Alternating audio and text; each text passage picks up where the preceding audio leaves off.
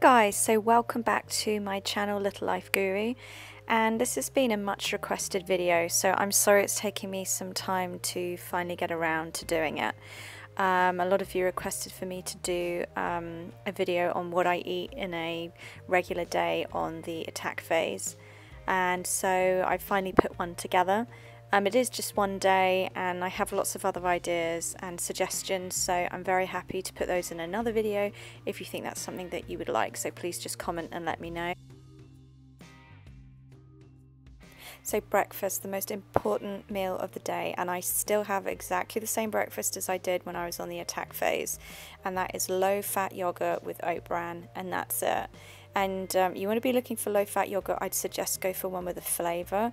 This is a British brand it's really great they do quite a few different flavours. Um, it stops you from adding honey and sugar and other stuff that's just going to kind of jeopardize your your diet and your weight loss.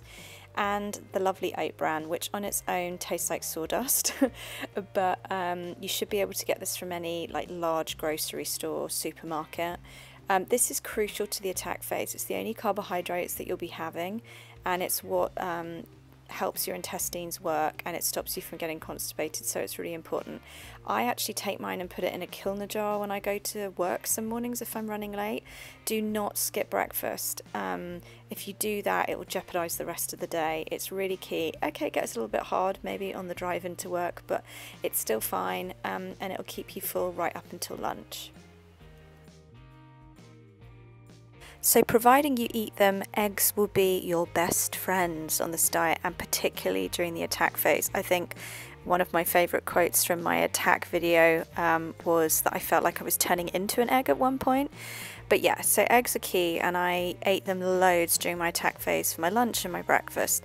Um, and for this particular lunch, I made an omelette with its three eggs and I'm just showing you here it's a British brand of smoked salmon which I just got from my local uh, supermarket and I used um, low calorie fry light um, olive oil um, about I'd say six or seven sprays in the pan otherwise you'll end up wrecking your pans, however non-stick they are, um, and just whisking up the eggs, not adding any milk. Um, you can use pepper for flavouring, but don't add any salt. You're trying to avoid salt during the attack phase.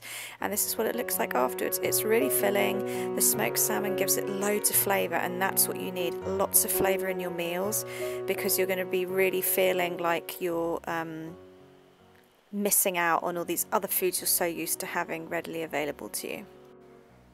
So for dinner, um, again more eggs, uh, this time tuna steak and with some nice pepper on top. Again, I would have cooked that in a pan with some of that low calorie um, spray um, and eggs on the side. Other things that I also often had was uh, tzatziki, which you can have, which is a tiny bit of uh, cucumber in it, and it has garlic and again low-fat yogurt, which is great, and that really adds some flavour to your meal. And of course, lots of water. Water again is your other best friend.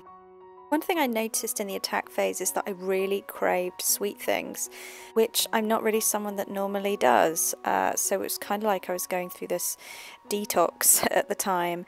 Um, and one of the things that you can have as a sweet thing is jelly or jello, as you guys call it in the US. Um, and this particular brand is, is pretty low um, in calories. It's a British brand and it's really, really easy to make. So it's simply a case of finding some containers that um, you want to use. I put them in glasses. These are pretty big, but it's fine because you can munch away on them. It's better than doing them in a big glass um, bowl because it just gets really manky and mushy and stuff. I also did them in plastic cups um, and these set in the fridge and they were great because I just put cling film or cling wrap on top and I took them to work with me because they do keep. Um, I slight, sort of started a bit of a trend at work actually and lots of other people started doing this um, and it meant that if I made up a big batch for the week then I would always have something I could go to at any time in the day when I was craving something sweet and it just gave a bit of variety because it is such a change from your normal diet that um, it's just nice to have something like this as a treat. So it's really simple. You add hot water and some cool water. You mix the um, flavors. You set them in the fridge. Usually takes a few hours, and then there you go. Hey presto.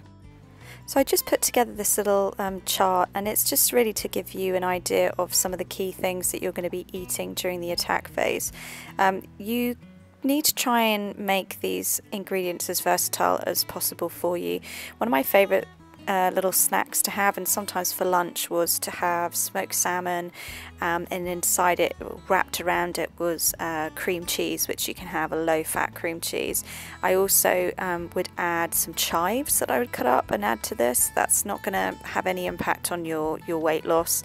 Um, pepper and it was delicious. Um, and that was a really yummy snack as well. Um, obviously, I mean, I am pescatarian, so I eat a lot of seafood, so it was great for me. So I had lots of fresh prawns, um, crab sticks, which I think I mentioned in my attack phase video. So do check that out. That they're amazing because you can kind of eat as many as you want of those, and they're also quite filling. Um, eggs, again, as I said, you know, omelets, um, poached, uh, fried. Uh, I tried every single kind of variation of egg.